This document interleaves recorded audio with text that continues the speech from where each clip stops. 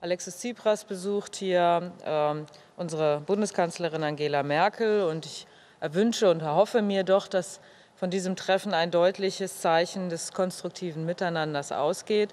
Ich glaube, wir hatten in den vergangenen Wochen ein ausreichendes verbales Säbelrasseln, das letzten Endes nur zu Unruhe und Misstrauen beigetragen hat. Und es wäre jetzt wünschenswert, dass wir zu einer verlässlichen Arbeit zurückfinden in Besonnenheit und in Verantwortung. Was wir nicht gebrauchen können, ist weder ein erhobener Zeigefinger noch ein erhobener Mittelfinger, sondern was wir brauchen, ist jetzt eine Politik mit Hand und Fuß. Und insofern wäre vielleicht etwas weniger Leidenschaft und etwas mehr kühler Kopf hier ratsam. Politik mit Hand und Fuß, das heißt für mich einerseits, dass Griechenland seine Versprechen einhalten muss. Sie müssen jetzt einen klaren Zeitplan vorlegen, dem auch Taten folgen.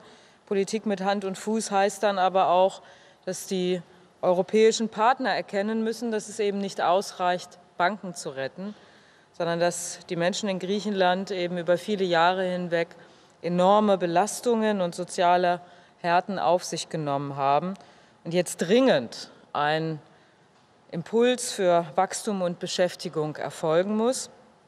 Das hat nicht nur etwas damit zu tun, es ist nicht nur dafür wichtig, dass den Menschen Hoffnung gegeben werden muss, sondern weil es tatsächlich und real auch um die mittelfristige besser, materielle Besserstellung des Landes gehen muss.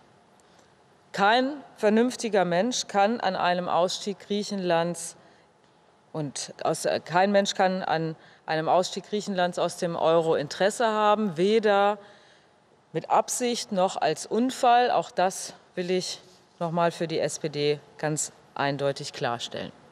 Ja, und als letztes möchte ich Ihnen nur kurz noch ankündigen, warum dies meine letzte Pressekonferenz vor der Osterpause ist. Ich werde diese Woche nach Lateinamerika reisen und habe dort verschiedene Gespräche. Unter anderem werde ich mit der derzeitigen politischen Führung der PT unter dem Vorsitz Falcao reden, aber dort auch die Freude haben, den früheren brasilianischen Präsidenten Lula da Silva zu treffen.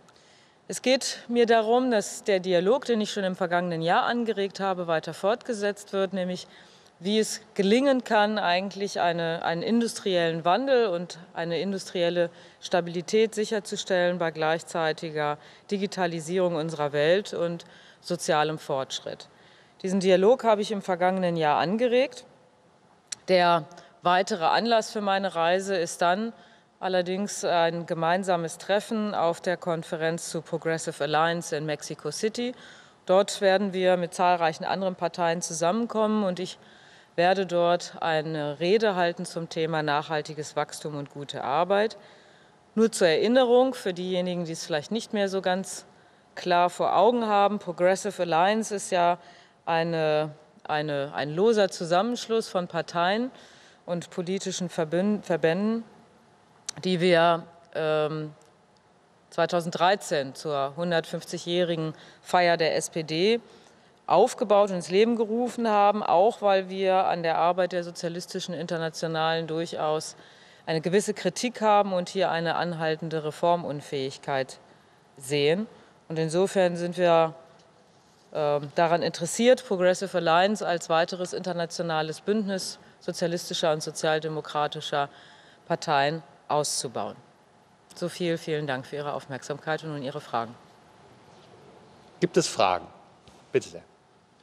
Zwei Fragen. Äh, zum einen zu Tsipras. Wird es eigentlich auch Begegnungen führender SPD-Politiker aus diesem Anlass mit Tsipras geben? Und wenn ja, in welcher Form? Und zum Zweiten, ähm, was das Treffen am Donnerstag angeht, wird da auch noch mal die Debatte um die Energie- und Kohlepolitik eine Rolle spielen? Und könnten Sie vielleicht da noch etwas dazu sagen, dazu den aktuellen Debatten unter den verschiedenen Sozialdemokraten, die sich daran beteiligen? Also mir ist äh, kein Treffen bekannt, äh, das über das Treffen von Tsipras und Merkel hinausgeht. Wir haben am Donnerstag unsere Präsidiumssitzung erweitert um die Präsenz der Ministerpräsidentinnen und Ministerpräsidenten, sofern sie denn nicht Mitglied des Präsidiums sind, weil wir über die Neuordnung der Bund-Länder-Finanzen äh, reden wollen. Ich gehe aber davon aus, dass einer, bei einer solch exklusiven Zusammensetzung sicherlich auch noch mal das eine oder andere Thema zusätzlich aufkommt. Achso, Sie wollten noch was zur Kohle wissen, insgesamt. Ähm, ich kann Ihnen zum jetzigen Zeitpunkt nur sagen, dass, wir, ähm, dass es einen Bundeskabinettsbeschluss vom vergangenen Dezember gibt, wonach wir sehr ehrgeizig, an sehr ehrgeizigen Klimazielen festhalten.